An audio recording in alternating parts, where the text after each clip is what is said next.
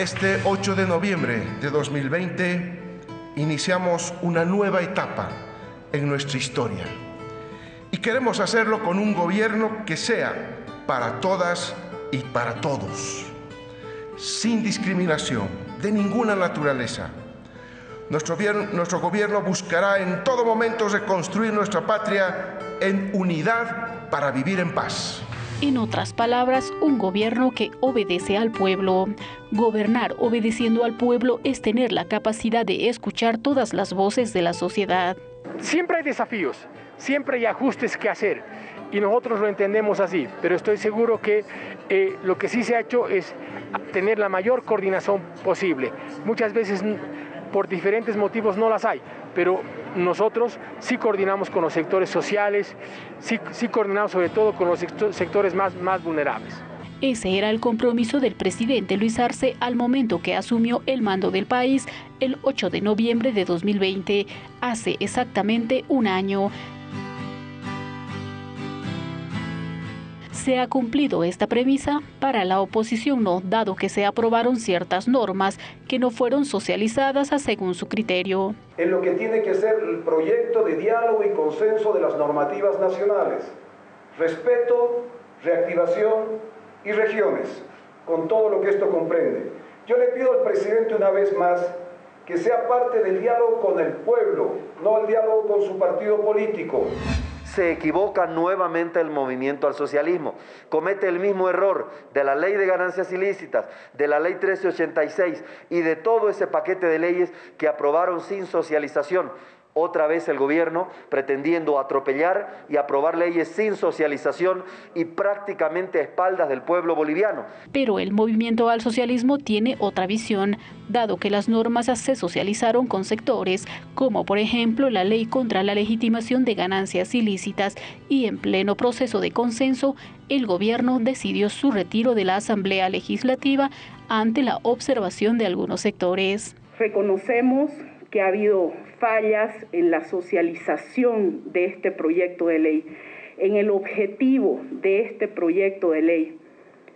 Y lamentablemente, frente a esas ausencias de información, se ha instalado en sectores de la población boliviana un temor absolutamente infundado. Se ha determinado a que esta ley no va. Y queremos decirle también al gobierno, sabemos que ya lo ha retirado, yo creo que es a pedido de las organizaciones sociales. Esperemos de que con esto no esté queriéndose agrandar esa derecha que a veces nos ha hecho mucho daño a los transportistas. Que ha generado esa campaña mediática, política, de duda, de generar duda y por supuesto también temor ante la población. Pero sin embargo, con esta decisión que asume nuestro gobierno, muestra ¿no? una señal que primero están los intereses de los bolivianos. Una de las propuestas de campaña de Arce fue la devolución de los aportes. Durante este año se socializó la norma que llevó más de medio año y luego se aprobó, se sancionó, se promulgó y se puso en vigencia.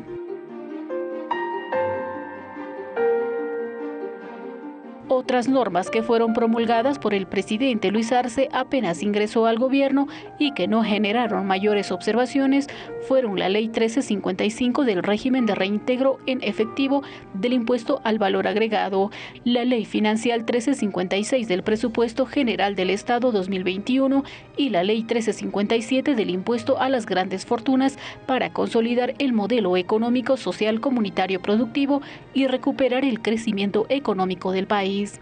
También en agosto se promulgó la Ley de Carrera de Generales y de Ascensos de la Policía Boliviana.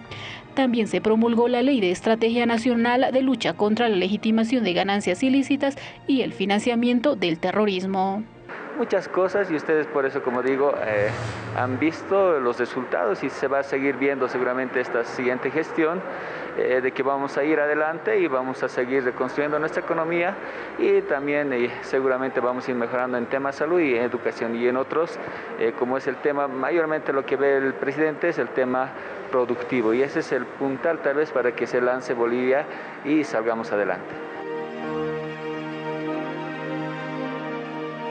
El gobierno del presidente Luis Arce ganó las elecciones el 18 de octubre de 2020 con un 55% y en democracia, gobernar es tener decisiones por parte de las autoridades elegidas para hacer gobierno y obedecer corresponde a los gobernados, a los ciudadanos y al pueblo.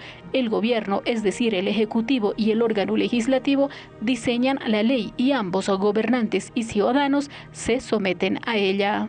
Y como siempre, nosotros como gobierno del pueblo escuchamos y escucharemos siempre las eh, propuestas concretas, claras, y no solamente el hecho de decir no estamos de acuerdo con eh, ningún proyecto de ley. Entonces, ¿qué estamos haciendo? Nosotros necesitamos más bien que las diferentes organizaciones sociales nos presenten sus desacuerdos, pero concretos.